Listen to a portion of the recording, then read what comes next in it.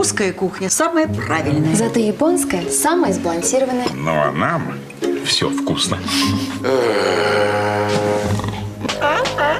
Нам нужно современное. Проверенное и недорогое средство. Мизим содержит ферменты, которые улучшают пищеварение и помогают усваивать еду. Мизим. Здорово желудку.